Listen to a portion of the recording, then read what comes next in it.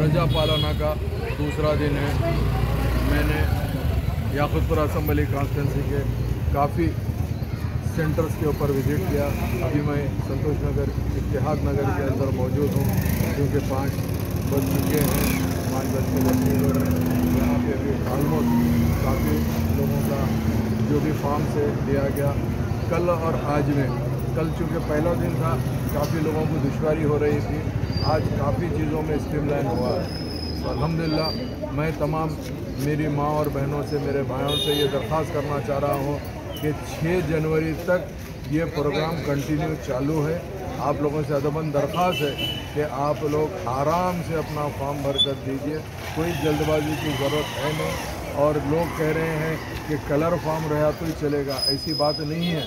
चाहे वो colour form हो या ब्लैक एंड वाइट जेराक्स भी हो कोई फ़र्क नहीं पड़ता। आप अपना फॉर्म सबमिशन करके एक्नॉलेजमेंट लेना ज़रूरी है।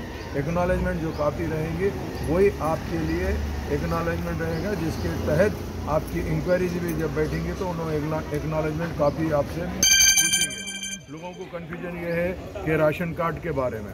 तो राशन कार्ड के लिए भी आप अपनी दरख्वास्त लिख के दे सकते हैं, उसकी भी रिसिप्ट दी जा रही है। तो मैं आपसे अदबन दरख्वास्त करना चाहता हूँ कि मजलिस इतिहादमसलिमिन नखीब मिलत और हबीब मिलत की ख़ास निगरानी के अंदर तमाम सेंटर्स के ऊपर अपना हेल्प डेस्क लगाई हुई है। लोगों की सहूलत के लिए हेल्प डेस्क लगाए हैं। अभी राइट नाउ मेरे साथ में हमारे मुजफ्फ़र साहब, संतोष नगर कारपेटर और मजलिस इतिहादमसलिमिन के तमाम जिम्मेदार मौजूद हैं।